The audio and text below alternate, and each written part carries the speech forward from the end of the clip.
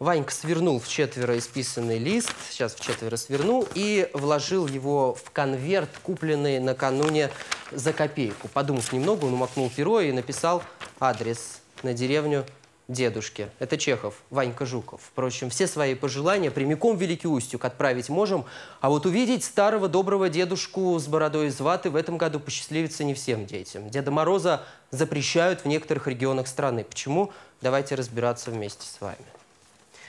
Итак, дети очень малы, Дед Мороз для них непонятен, считают некоторые эксперты. Чиновники из Самары и Кирова им вторят. Не дело, мол, приглашать хороводы водить сторонних артистов. Пущай, как старые добрые времена. Воспитательницы бороды надевают, поясок затягивают и с мешком наперевес в актовый зал. Ну а уж реакция детей здесь явно непредсказуема. В прошлом году в Казани вот такой дебют местной воспитательницы провалился. Закидали ее зрители слезами. И вот вам цитата от чиновников. Давайте сейчас внимательно ее послушаем. Все детские сады, которые хотят проводить на своей территории новогодние утренники, выпускные вечера с приглашением сторонних лиц и организаций, они сейчас вносят изменения в свои уставы. После этого данные изменения пройдут государственную регистрацию, будет в кратчайшие сроки утверждена расценка на оказание такой услуги детскими садами этим сторонним лицам и организациям. Конец цитаты. Но от греха, от греха подальше руководство детских садов некоторых некоторых регионах отказывается от приглашения Морозов на праздник.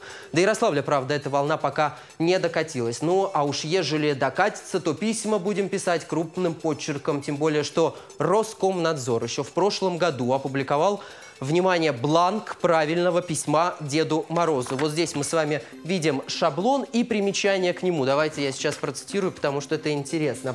Помните, что настоящий Дед Мороз – только один. Он не будет публично просить вас указывать такие ценные для человека персональные данные. В письме достаточно указать только имя и возраст, чтобы дедушка знал, какой подарок подарить и кому он его подарит. Ну что ж, забавно, правда?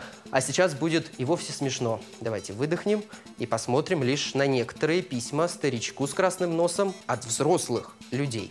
Итак, ну что же, давайте смотрим. Вот мужчина пишет. Дедушка Мороз, подумай насчет йогурта. Я не знаю, как там у вас в Великом Устюге, но у нас питьевой йогурт не до конца выливается из бутылочки. На стенках остается еще рубля на три. Сделай с этим что-нибудь, ну или удлини нам языки. А вот следующий перл, вот он здесь, да, это, этот перл явно уж от дамы элегантного веса. Цитирую. «Дедушка Мороз, хочу попросить тебя новый обмен веществ. Мне подойдет тот, который у баклана. Это птица а, умудряется съедать за день больше, чем весит сама. В бедрах совсем не поправляется. По-моему, это несправедливо. И вот еще от прекрасного пола тоже забавно. Дедушка Мороз, будет время, сделай мужчину умнее, но если тебе некогда, то просто пошли мне 25-летнего лыжного инструктора. Ну и на закусочку мальчик 25 лет был немногословен. А написал лишь следующее. Хм, на этом, пожалуй, и остановимся.